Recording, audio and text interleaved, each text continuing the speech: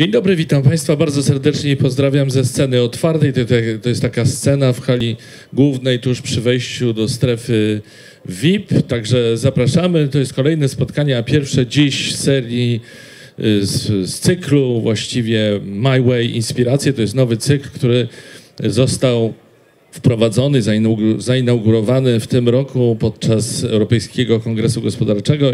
I o co chodzi w tym cyklu? No chodzi o to, żeby Państwa inspirować y, podczas spotkań z ludźmi, którzy osiągnęli sukces w biznesie w różnych dziedzinach, którzy opowiedzą o swoim sukcesie, o tym, jak do niego do, dochodzili w, w, różnych wątkach, aspektach. Wczoraj mieliśmy trzy spotkania, dzisiaj kolejne, za chwilę za chwilę. Pierwsze, już przedstawiam naszego gościa. To jest wybitny architekt, szef i założyciel biura KWK Promes, niezależny ekspert Fundacji Miesa Vandenroch. Uczyłem się kiedyś poprawnej wymowy tego, tej nazwy. Nie jestem pewien, czy to dobrze robię, ale mam nadzieję, że tak. Zresztą 12 razy nominowany do Europejskiej Nagrody Fundacji Miesa van den Roch. To jest taki architektoniczny odpowiednik Oscarów, także bardzo ważna nagroda. Jeśli chodzi o nagrody, no to ma w dorobku ich bardzo dużo. Między innymi za projekt Muzeum Narodowego Centrum Dialogu Przełomy w Szczecinie. Fantastyczny y, projekt. W 2019, czyli w tym roku, otrzymał nagrodę German Design Award Special za projekt Dom po drodze. Jest jednym z najczęściej publikowanych za granicą polskich architektów. Niedawno zakończył indywidualną wystawę Moving Architecture w Berlinie. Zapraszam na scenę i oddaję mikrofon, przekazuję głos. Robert Konieczny, witamy bardzo serdecznie. To jest zdjęcie z mojej wycieczki, drodzy Państwo, do Włoch, gdzie kupiłem sobie najnowszy Deplan magazyn, jeden z najlepszych magazynów w architekturze na świecie. I tak się składa, że ten plan e, pokazuje w tej chwili dwa nasze budynki zrealizowane. Jeden tutaj w Katowicach, tak zwane Unikato. Ja od dzisiaj o tych budynkach opowiem. A drugi e, to dom kwadrantowy, dom, który się rusza. Dom, który się rusza, który reaguje na słońce.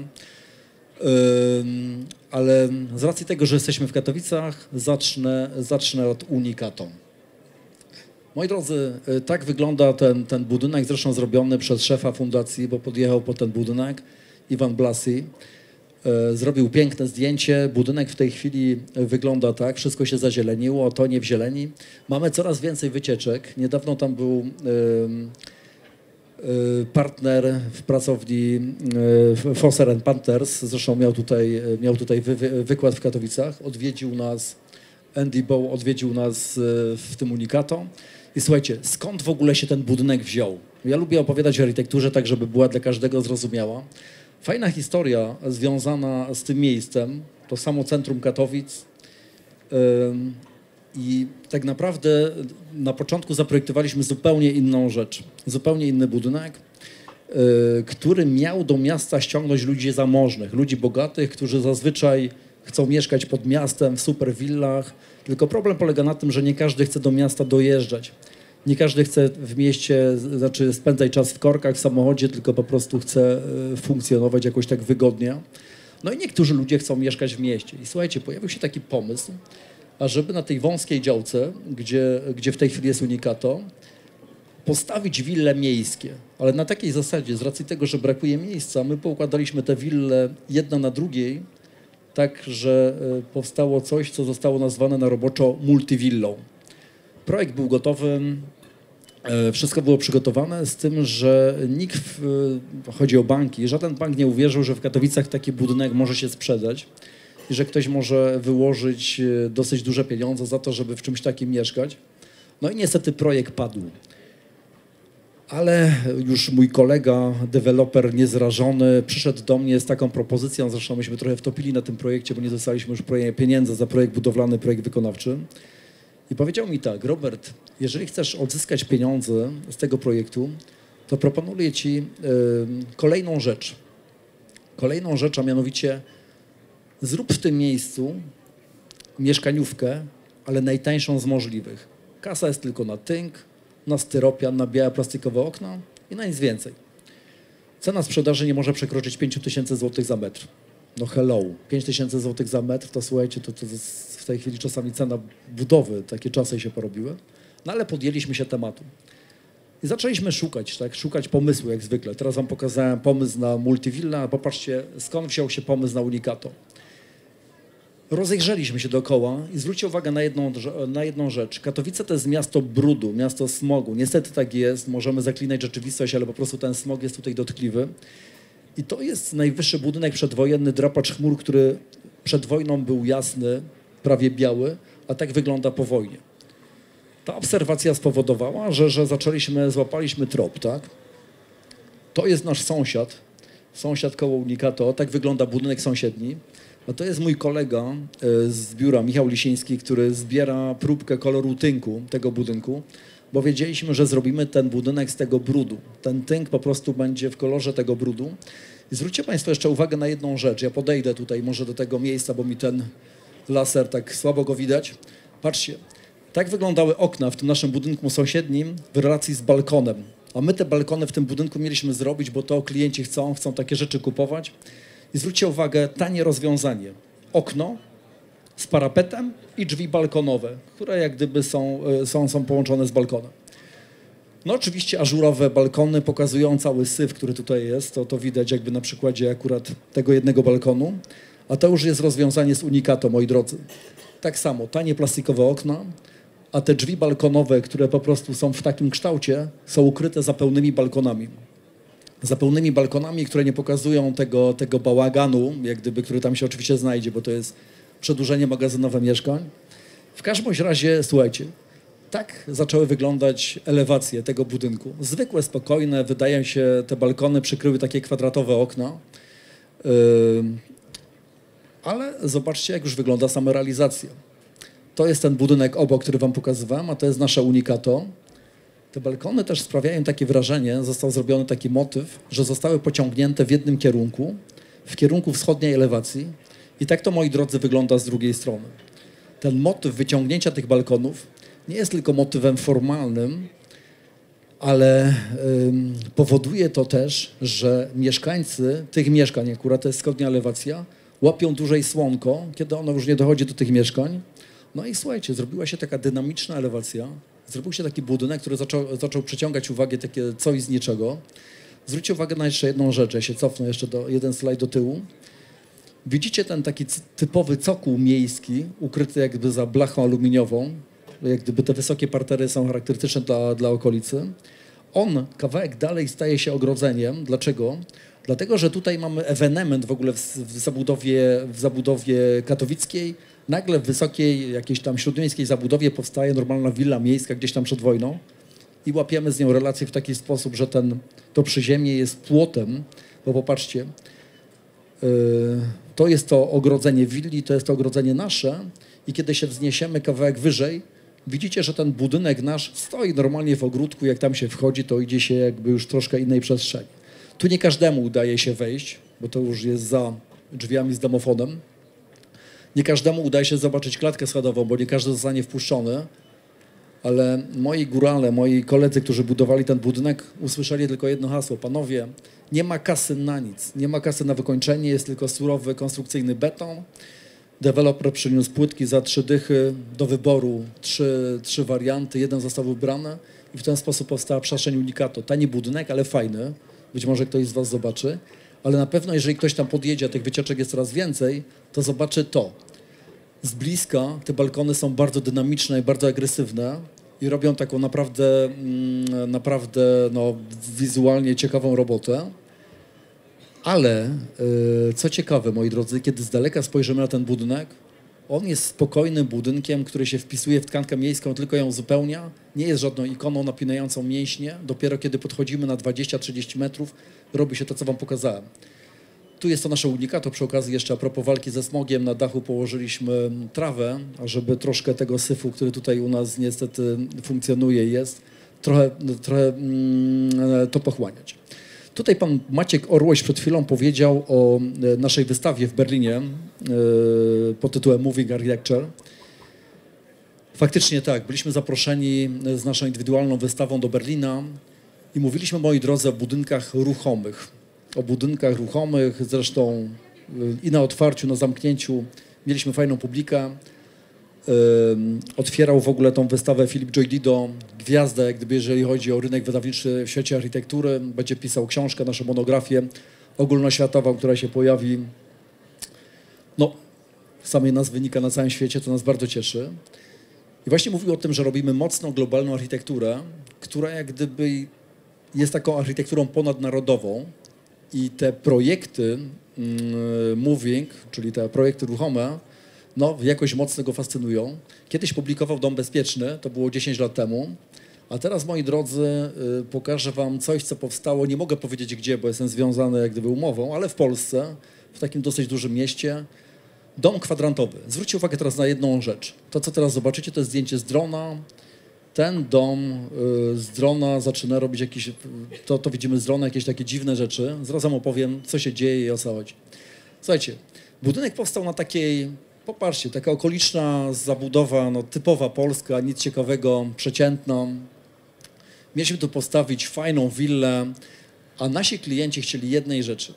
Chcieli, zacytuję, domu, który będzie relaksował, będzie prosty i w jakiś sposób będzie reagował na słońce.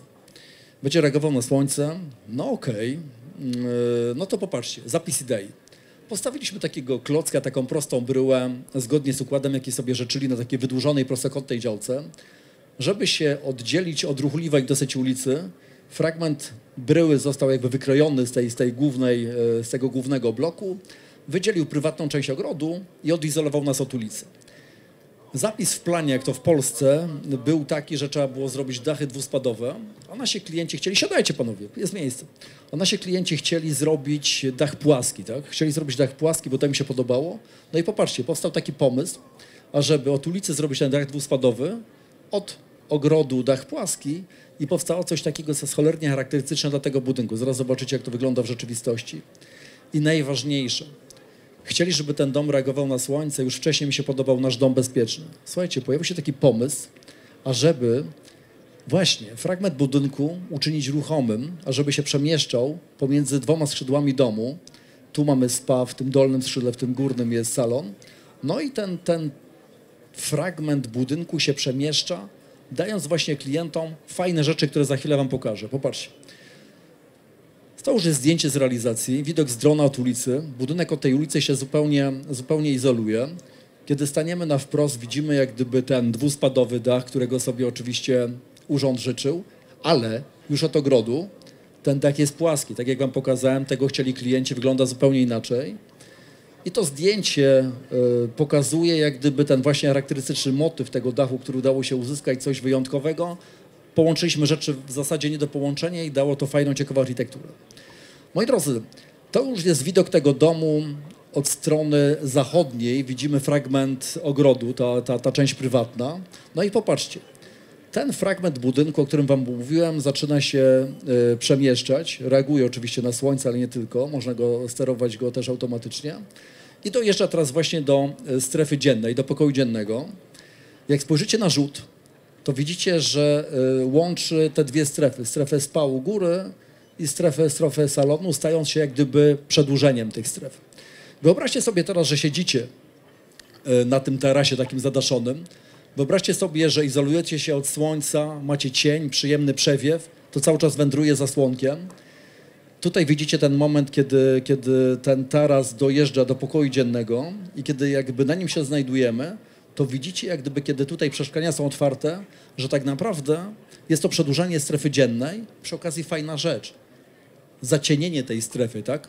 Bez, bez rezygnacji z widoku, bo ten widok cały czas mamy. Moi drodzy, jesteśmy teraz na tym tarasie, poczujcie się jak mieszkańcy domu. Wędrujemy sobie, w tym, w tym fragmenciku podjeżdżamy do strefy spa, która jest, jak widzicie, zamknięta. Szyby są zasunięte, ale kiedy chcemy, kiedy to pomieszczenie za bardzo się nagrzewa na przykład, podjeżdżamy i zacieniamy tę przestrzeń, nie tracąc widoku. To jest jakby kolejna funkcja tego kwadrantu. I teraz a propos zacienienia samego. Jeżeli słonko jest bardzo niskie, mamy na przykład zimę, to ten, ten element jest wyposażony w ruchome rolety, które powodują, że to słońce już w ogóle nie wnika do budynku, jeżeli tego nie chcemy, czy jeżeli jest duży wiatr, kiedy jesteśmy na kwadrancie, możemy się tego wiatru y, odizolować. Popatrzcie, to jest już widok pokoju dziennego drugiej strony, bardzo szeroka, duża, otwarta przestrzeń. Widzimy ten moment, kiedy, kiedy ten, ten fragment budynku do nas podjeżdża i już za chwilkę, za chwilkę zaparkuje, za chwilkę zaparkuje przy salonie dając nam ten przyjemny, życiodajny cień. Na przykład możemy zjeść sobie zupkę z fajnym przewiewem, fajnym widokiem, bez żadnego, bez żadnego upierdliwego słońca. I zwróćcie uwagę teraz na technologię, moi drodzy. Kiedy ten fragment odjeżdża, to tutaj ukazują się naszym oczom te zawiasy, na których to jest zamocowane. Postanowiliśmy je zostawić i pokazać, żeby ta technologia gdzieś tam jednak pokazywała, o co chodzi w tym budynku. W przeciwieństwie na przykład do obróbek blacharskich, których tu w ogóle nie ma. Popatrzcie sobie, jak ten dom jest wykończony, jak jest zrobiony.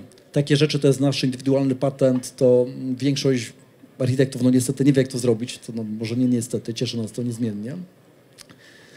Lata doświadczeń, yy, ażeby dojść do, jak gdyby, do takiej jakości.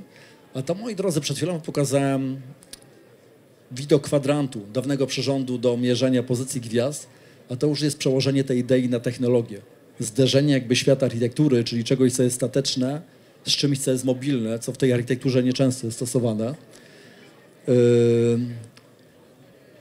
Dom reaguje na słońce, ale wieczorem, kiedy zapada zmierzch, ten, ten, ten element, ten taras ruchomy też się przemieszcza, dlatego że popatrzcie, jest fajna pogoda, jest ciepło, szyby są potwierane, stanowi to przedłużenie właśnie też salonu, kiedy potrzebujemy czy spa. A kiedy, taka ciekawostka, kiedy już robi się późno, widzicie, że tutaj system przeszkleń został zamknięty. Szwajcarska firma Skyframe, tak im się spodobał ten projekt, że zdecydowali się zrobić dla nas e, e, ten system przeszkleń, bo to nie był właśnie, to nie był system. To było rozwiązanie prototypowe, które dopiero po roku dzięki naszemu projektowi stało się systemem, czyli teraz można sobie kupić takie przesuwki w takiej rozpiętości dzięki no, naszej realizacji. To miłe. Moi drodzy, taka refleksja na koniec. Architektura mobilna, w, akurat w wypadku tego domu, ale nie tylko, daje klientom każdego dnia nowe możliwości, które oni sobie każdego dnia na, może na nowo odkrywają, tak? I y, widzą, że ten dom, dzięki właśnie temu, że się porusza, daje im dużo większą wygodę życia, dużo większą funkcjonalność i dużo większą właśnie możliwość, możliwość wyboru. Także e, moi drodzy, tak spojrzę na zegarek, czy mam jakieś tam wyczucie. No nie, nawet szybko, pospieszyłem się. W każdym razie powiem Wam tak, zapraszam na stronkę KWK Promes. Tam zobaczycie więcej projektów, więcej realizacji. A swoją drogą namawiam do tego, żeby zawsze pod kilkoma obrazkami, które tam zobaczycie, czy zdjęciami, przeczytać krótki tekst. Bo zrozumienie architektury to jest najważniejsza rzecz. Gdybym wam tylko pokazał zdjęcie, nie wiedzieliście po co to się rusza, kilka słów wyjaśnienia powoduje, że staje się to logiczne i zrozumiałe. No i tak to jest z architekturą współczesną. Dziękuję bardzo za uwagę.